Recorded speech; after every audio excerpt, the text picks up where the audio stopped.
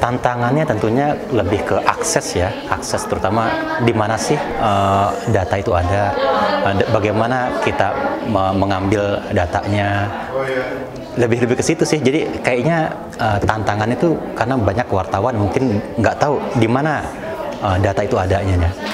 Uh, di di tempat siapa data itu ada siapa yang punya data itu data apa aja yang yang yang memang tersedia di di, di publik dan mungkin ada data apa yang uh, mesti uh, kita dapatkan dengan cara misalnya meminta langsung ke institusinya dan sebagainya. Yang karena memang tidak dibuka secara publik uh, tapi bukan berarti itu tidak tidak bisa kita minta gitu tantangan terbesar itu adalah kesulitan untuk mendapatkan data yang cukup dan uh, series yang bagus ya. Itu tantangannya.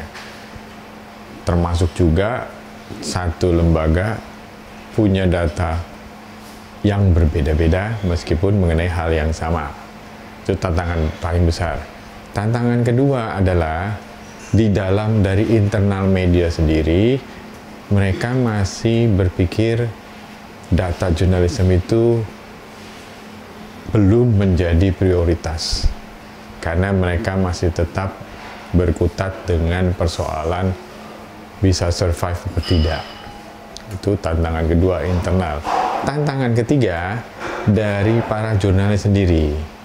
Banyak jurnalis enggan lagi belajar mengenai data, statistik, mengenai matematika karena mungkin sudah tidak terbiasa lagi dengan angka.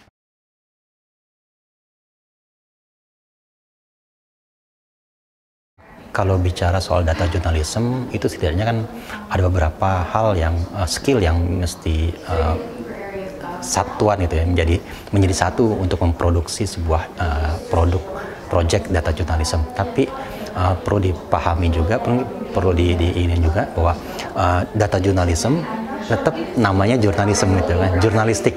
Bahwa kekuatannya itu adalah jurnalistiknya. Jadi desain coding dan sebagainya itu mungkin pelengkap tapi tetap uh, basic dari uh, kegiatan itu adalah jurnalistiknya. Uh, lalu kedua mungkin uh, bagaimana cara membaca data. Bagaimana dia bisa apa namanya melihat sesuatu di balik data itu. Itu mungkin lebih penting ketimbang uh, apa namanya hal-hal uh, lain mungkin desain atau visualnya dan codingnya itu mungkin bisa pihak lain yang uh, bisa melakukan itu.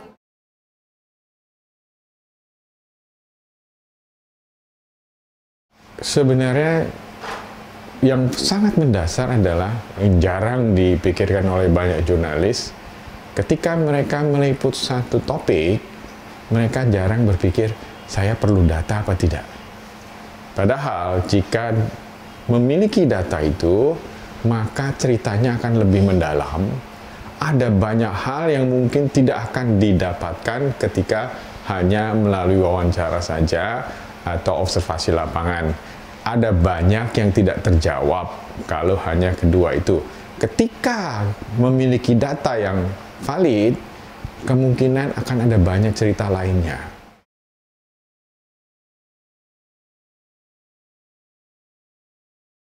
Persoalannya dikembalikan apakah ini akan menjadi tren atau menjadi sesuatu yang besar di Indonesia dikembalikan ke media-media mainstream saat ini kemungkinan besar media mainstream yang sebenarnya punya kapasitas, mereka tidak berminat jurnalisnya menjadi data jurnalis. Tapi paling tidak akan baik juga kalau jurnalis mereka itu memahami bagaimana mendapatkan data, mengolahnya dan menginterpretasikannya, membacanya. Cukup sampai situ masalah visualisasi dan lain-lain bisa diserahkan ke mereka yang memang menguasai skill itu. Uh, tentunya kalau kami melihat sih tantangan ke depan semakin besar ya dan juga uh, peluang untuk mengembangkan data jurnalisme ini semakin besar karena kelihatannya kebutuhan masyarakat publik atau mungkin di pemerintahan dan sebagainya itu atau di stakeholder lainnya seperti uh, dunia usaha juga sangat membutuhkan informasi-informasi yang berbasiskan data.